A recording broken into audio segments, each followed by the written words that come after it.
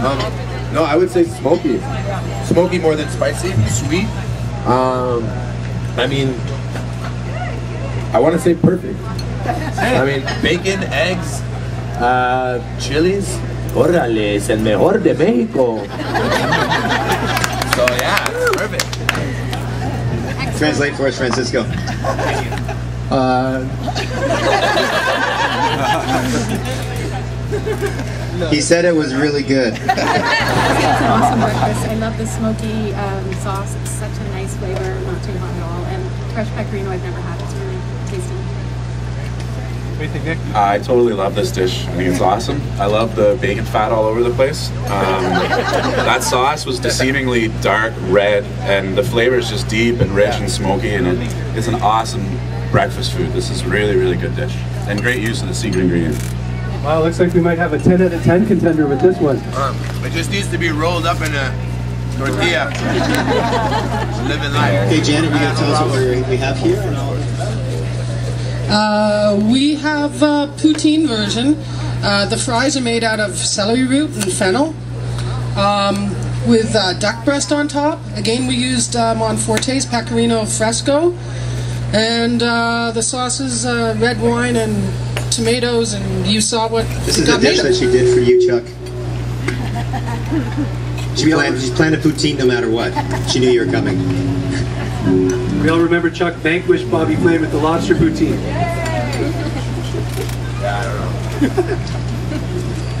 I'm still on the fence. I'm trying to get the judges to, to rejudge that. I'm not sure. Poor Bobby. I'm still in bacon. Come on. We have a place in town that serves a lobster poutine. Sean Yeah, I heard, I heard. Yeah, Simple Fish and Chips right around the corner on Mon- just on Mondays. But uh, My day off. Chuck's day off. I think I see a future episode. We, and we have to realize this is a one-hour competition. You know, you don't necessarily get this quality of, of uh, you know, depth and flavor in terms of the sauce. You know what I mean? There's, so you can't cheat stock. You can't make it. You know, and I know like people, you can buy it, but you can't cheat that flavor. So a lot of the stuff in here is is really authentic and real. For an hour, it's uh, it's a pretty it's a pretty big. Um, accomplishment so yeah it's it's definitely it's definitely there Great, I hear that, Chuck. Like, let's give it a hand for the for the chefs for doing what they did in an hour. I think I'm gonna like this. So um, yeah, basically it's just like a Kentucky Fried Chicken, only it's partridge. It's just a very light spiced batter um, with a celery root slaw. So it's sort of a play on a southern meal, and then a cornbread which we've used the bacon in as well. Some of the bacon fat, um, a little bit of jalapeno, um, and some scallion, and a little bit of maple syrup. very traditional mexican Traditional Mexican. I gotta say, the presentation on that one's nice. yeah Nicely composed, nice colors, nice yellow. And the crispy skin was really, really good. I hope you guys see some for me to try. Delicious.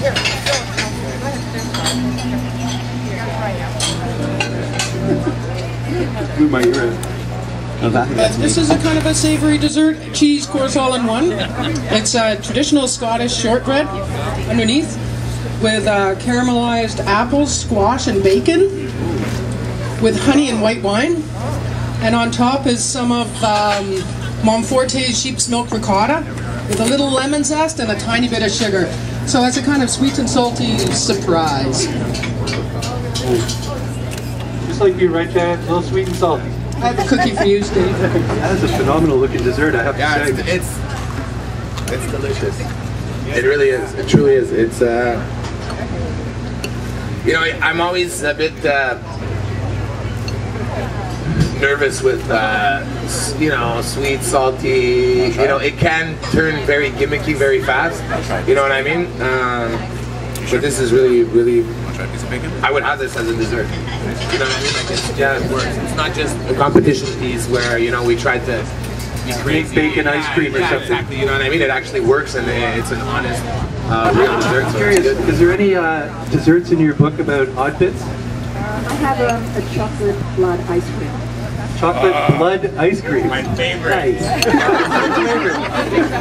Wonderful for Halloween. Everybody, congratulations to the chefs. Come on up here, guys. Think about. You guys did absolutely fantastic. What a job.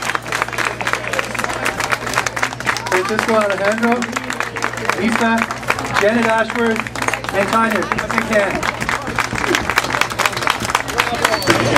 Okay, the scores are in. and by only a fraction of a score, like the scores are Just hold on a second. Francisco, Janet, come on up. So it was really, really close. One got 210 total, and the other got 217 total.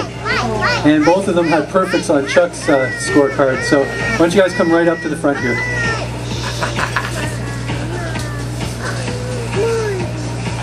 So the winner of the very first Savour Stratford Chef Challenge is Francisco Alejandro. Congratulations. Janet, you did a great job too. You did a really good job. Congratulations. And, and with that gift card, you get to eat Janet's cooking tonight. Any last words? No, that was a lot of fun and uh, great, you know, no meanness, which I like. I'm a happy There's chef. a lot of And where are you going now? Uh, we're going to go do lunch at County Foods, and I think we have just enough time. I just uh, I just want to thank all the organizers in Stratford. Uh, I love I love love love this uh, city, and uh, yeah, I feel at home every time I come here. Excellent. Thank you.